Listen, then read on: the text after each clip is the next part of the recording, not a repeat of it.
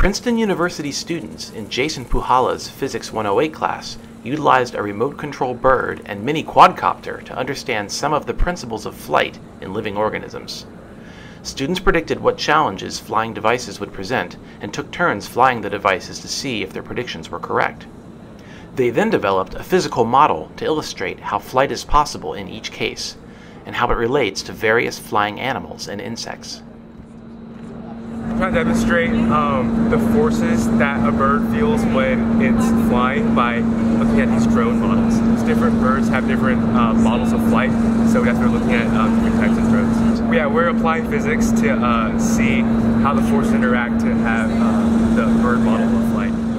Puchalla explained how testing flight principles on actual models demonstrates the limitations of Bernoulli's principle when applied to animal flight. So one of the principles we talk about in class is when you have something that's life-size, larger life-size, like a bird, uh, airflow around that object is, is very complicated. What you could say is it's a high Reynolds number situation. In those situations, it's uh, the type of flow that you have is not well modeled by simple equations like the Bernoulli's equation. So in the end, you have to look at the, complex dynamics of how the wings are moving, like hummingbirds and like dragonflies. Their wings do strange things. They're not like fixed-wing aircraft at all. So understanding that through flying a drone is a, uh, a unique opportunity.